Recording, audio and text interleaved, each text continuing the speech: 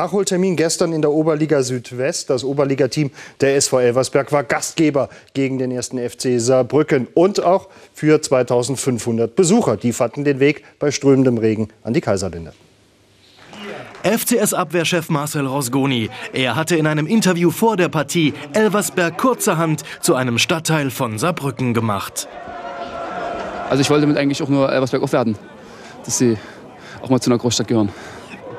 Die Leistung des ersten FC Saarbrücken gab der SVE allerdings keinerlei Raum zur Entfaltung. Das Kräfteverhältnis eindeutig zugunsten des FCS.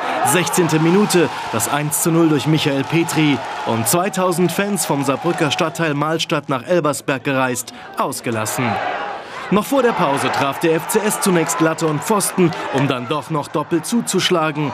Zuerst Hajdarovic mit Saisontreffer Nummer 16 zum 2 zu 0. Und ebenfalls noch vor dem Gang in die Kabine das 3 zu 0, Michael Petri, sein zweiter Treffer am gestrigen Abend.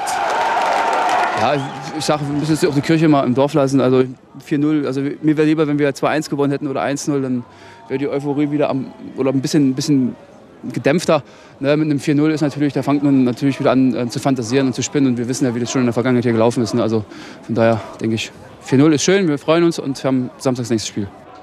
Elversberg 2 brachte sechs Spieler aus dem Regionalliga-Team und war trotzdem überfordert.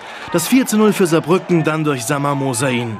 Der FCS fällt die Kaiserlinde, spuckt keine großen Töne, kann sich aber rühmen, den Fans eine Gala-Vorstellung geboten zu haben.